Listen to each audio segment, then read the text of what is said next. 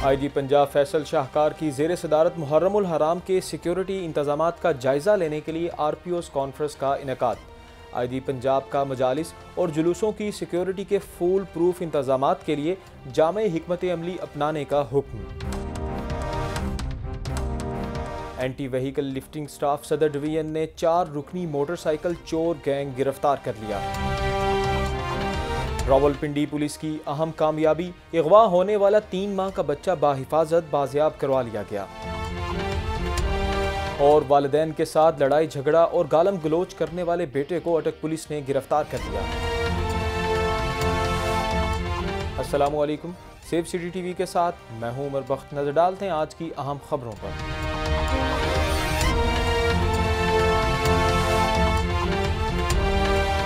आई जी पंजाब फैसल शाहकार की जेर सदारत मुहर्रमुल हराम के सिक्योरिटी इंतज़ाम का जायज़ा लेने के लिए आर पी ओस कॉन्फ्रेंस का इनका आई जी पंजाब ने मजालस और जुलूसों की सिक्योरिटी के फूल प्रूफ इंतज़ाम के लिए जाम हमत अमली अपनाने का हुक्म दे दिया।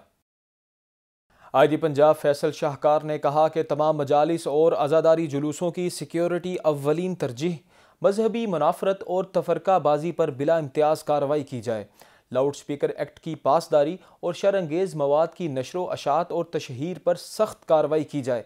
तमाम मकातब फ़िक्र के उलमा व मशाइ कम्यूनिटी लीडर्स, ताजर और सिविल सोसाइटी के ताउन से मजहबी इतिहाद और यगानगत को फ़रोग दिया जाए।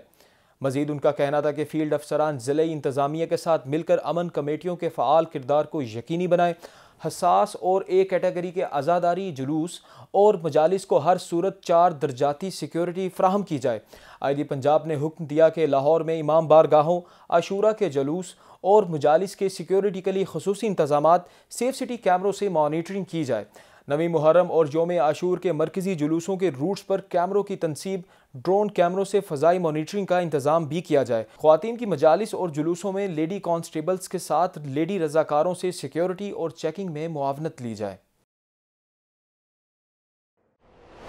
लाहौर पुलिस इन्वेस्टिगेशन विंग में महकमाना एहतसाब का अमल मजीद सख्त। D I G investigation Lahore ने इंक्वायरी के बाद तफ्तीशी ऑफिसर को मुअत्तल कर दिया। ए एस ए इकबाल ने शहरी शफीक से मुकदमा खारिज करने के लिए डेढ़ लाख रुपए रिश्वत ली थी। इंक्वायरी के बाद तफ्तीशी ऑफिसर को मुअत्तल कर दिया गया है। D I G investigation Kamran Adil का कहना है कि नाकिस तफ्तीश इख्तियार से तजावज़, मुजरमाना सरगर्मियों में मुलविस अहलकार किसी रियायत के मुस्तक नहीं हो सकते। पुलिस में अकाउंटेबिलिटी का अमल मजीद तेज़ किया जाएगा।